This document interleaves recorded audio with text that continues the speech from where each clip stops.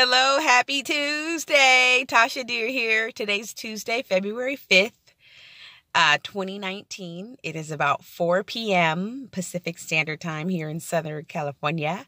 Look at how sunny it is and beautiful, even after all that nasty rain and wind and cold yesterday and this morning. But now, hey, look, the sun is out. I brought the sun out with my smile. Look at this. Look at that. How gorgeous it is. I'm out here waiting for my daughter. Getting ready to get her out of school so I can pick up my other daughter. Anyways, my message is smile. When you smile, you see all kinds of dimples. See, there's so many dimples I didn't know I had until I started smiling more. And then you have so many laugh lines. And then you just, you look so cute when you smile. You show your white teeth, your pearly whites. If they ain't white, you better get them white. That way you can smile more. Studies show that people who smile more get more done are more satisfied with their lives, are happy, in a better mood, and they're more likable. Okay, I haven't read any studies, but I'm just going by what I've experienced. So you could call this an empirical study based on my own observations of my own self. And people that I see that are smiling, they just tend to be in a better mood. They tend to be happier. They tend, tend to be more confident.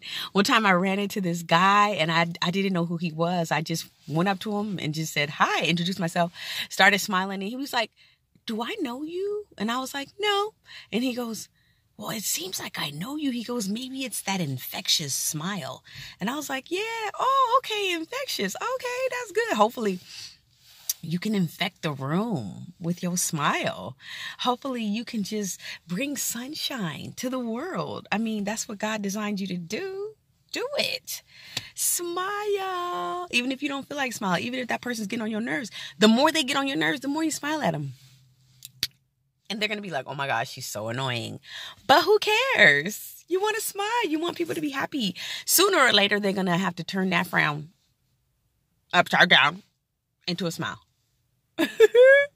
so do it. See what you can do. See who can you can influence and find out if people respond to your smile. If you can really infect people with your smile. Check try it. Message me. Let me know what happens. Give me some feedback. Oh, book signing March 23rd.